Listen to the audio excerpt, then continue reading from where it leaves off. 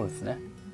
このこういう遠くを覗くみたいな感じのなんか悟空が取りそうなポーズをなんとなく自分で構成したっていう感じにしてます。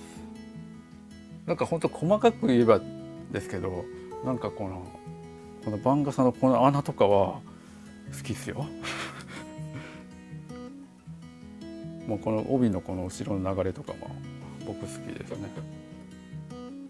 布のひらひらとかちょっとかっこいいんじゃないですか？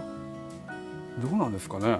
好きな部分ばっかりだとなんかしんどいんじゃないですか？見る人が、うん、なんかこの密と抜け感がその構成というかその割合がぴったりはまった時にかっこよくなるというかそういう感じは僕はありますね。